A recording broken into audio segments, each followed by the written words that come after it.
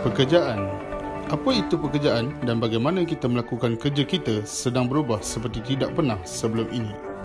Ia mengubah masyarakat kita juga dengan cara yang tidak pernah kita bayangkan. Globalisasi, perubahan cuaca, kemajuan teknologi dan peningkatan dalam ketidaksamaan. Ini merupakan pemacu utama perubahan itu. Tetapi polisi-polisi yang kita tetapkan sebagai sebuah masyarakat akan mengemudi pembangunan konsep masa depan pekerjaan. Jadi, apakah jenis masa depan yang akan wujud? Organisasi buruh antarabangsa ingin mengetahui. Bagaimanakah pekerjaan bermakna kepada kita? Bukan hanya dari segi pendapatan yang diperoleh, tapi dari segi memberikan makna dan hala tuju kepada hidup kita. Dari manakah pekerjaan akan datang dan apakah bentuk pekerjaan tersebut?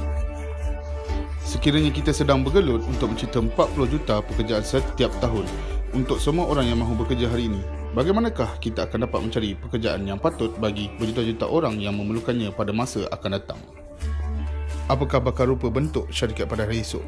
Internet dan teknologi digital telah menjadi pengantaraan kerja sepenuhnya pada masa ini. Kita dapat memerhatikan bagaimana wujudnya perpecahan dalam proses pengeluaran serta kesan globalisasi dalam rantaian bekalan global. Apakah impak atau kesan dari pemecahan atau pembahagian buruh global yang baru ini? bagaimana kita dapat mewujudkan keadilan untuk masa depan bagi semua. Bagaimanakah kita boleh membentuk, mengurus dan menggalakkan perubahan ini untuk memastikan dunia bergerak ke arah keadilan sosial dan keadilan kerja. Sempena ulang tahun pada 2019, ILO akan menerojui agenda inisiatif masa depan kerja dengan menggariskan realiti yang diterima oleh pekerja, majikan dan kerajaan di seluruh dunia untuk membantu membentuk polisi-polisi masa depan yang mampan dengan kesignifikan akibat global kita yang semua.